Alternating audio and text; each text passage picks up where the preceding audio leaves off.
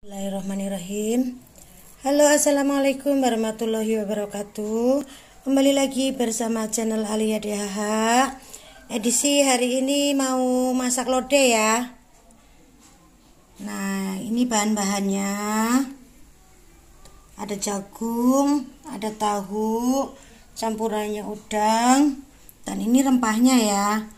Ada lada putih, ada jahe, bawang merah bawang putih ada lengkuas ada serai dan daun salam ya.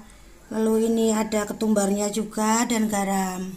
Oke sekarang saya mau gerus dulu ya ini rempahnya ya.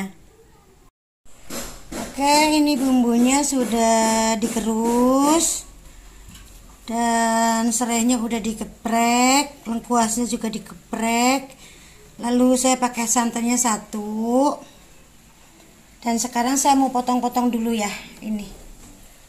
Tahu sama jagung mudanya ya.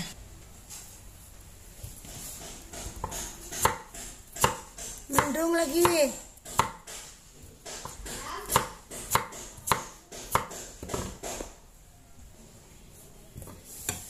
oke. Tahunya kita potong-potong seperti ini. Jadi tiga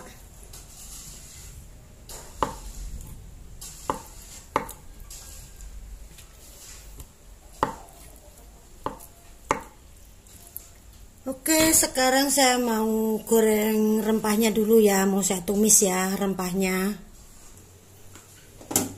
Sekarang kita tumis ya ini semua.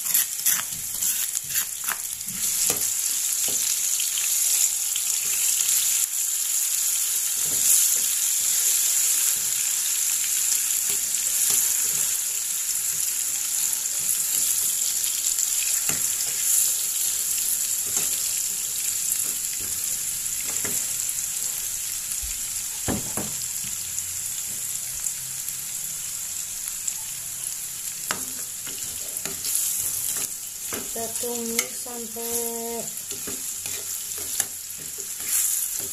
harum ya.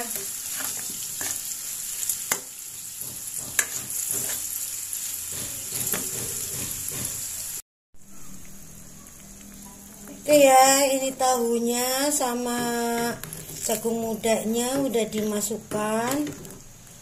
Kita tunggu sampai dia matang ya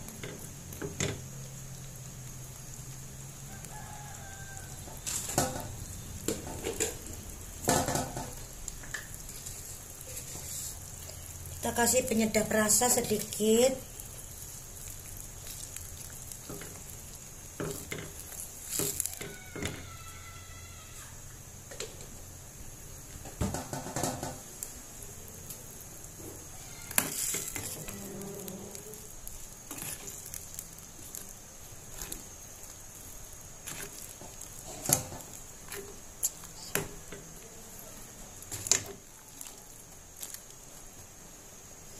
kita tunggu sampai dia matang ya. Kita tutup sebentar.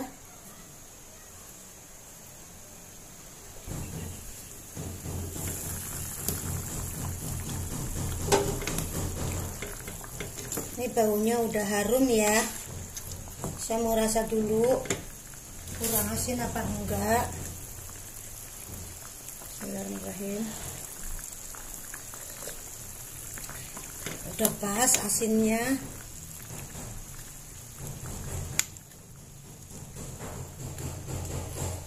Sepertinya ini udah matang ya.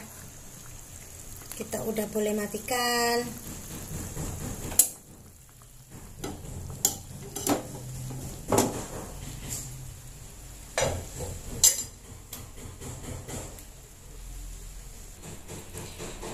Oke, terima kasih sudah menonton.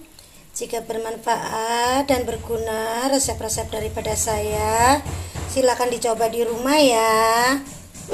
Jangan lupa subscribe dan like di bawah ini. Assalamualaikum warahmatullahi wabarakatuh. Selamat mencoba.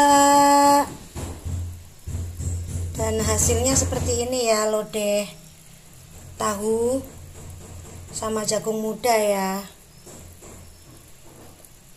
Inilah cara-cara memasak lodeh tahu ya dan jagung muda.